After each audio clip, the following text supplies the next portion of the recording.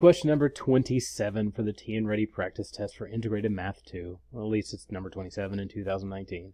If there's a newer version of this test and the same question, I'll just tell you the numbers change.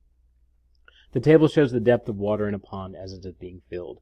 What is the average rate of change in meters per minute of the depth of the water in the pond between t equals 2 and t equals 5? So at 2 minutes and 5 minutes.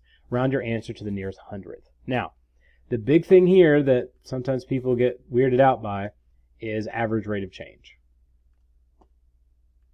This right here.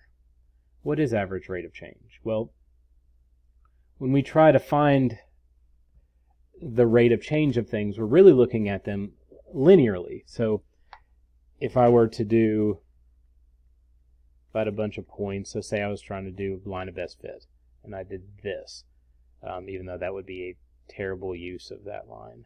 It wouldn't even be close to the middle. There we go. So if I wanted to find the average rate of change from be here and here, despite the fact that it fluctuates all over the place, I would just use the slope formula, right? So I want to know how much it goes up versus how much it goes over. Rise over run. And to convert that into slope formula, I would say y sub 2 minus y sub 1 x sub 2, sub for subscript, minus x sub 1. And sub here uh, means subscript because when you have a subscript, it means it's a label. There's no, like it's not x squared, it's just, it's the second x that you have. So now we need to find our group set between 2 and 5. So I'm going to make two points at 2 and 5.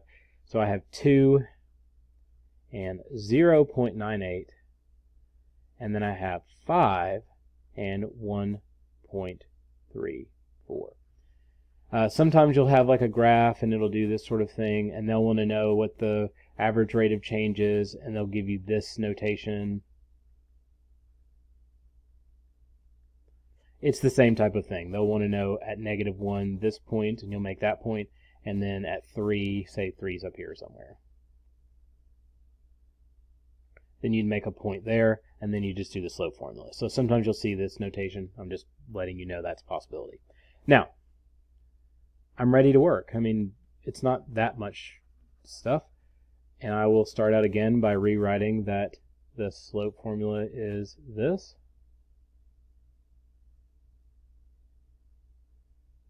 Which is based off the Pythagorean theorem. If you want to plot these two points and do the Pythagorean theorem with them, have at it. y sub 2, and I'm going to go ahead and mark these. This is the first x. This is the first y. This is the second x.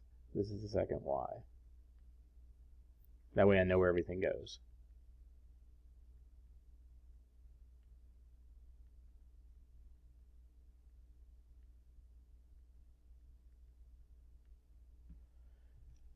So your y sub 2 should be the second set.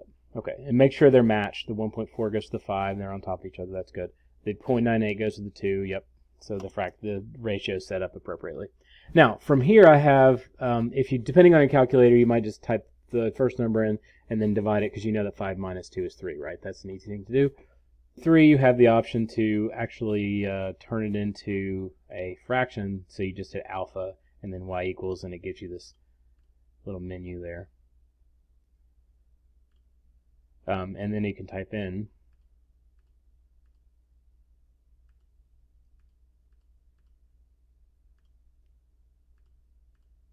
I'm just telling you you can do it. I don't suggest you do it. I would do it the other way, but whatever. So you get 0.12, and that is the correct answer, and that's all you really need to do here. You're just trying to find that part. If you wanted to just quick type it in and do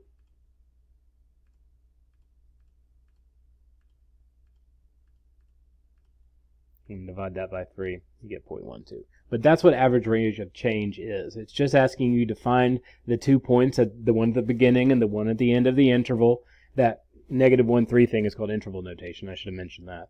Um, they want you to find the two points at the beginning and the end of the interval and then simply do a slope formula to find out what the actual uh, linear relationship is between those two points. That's all you need to do.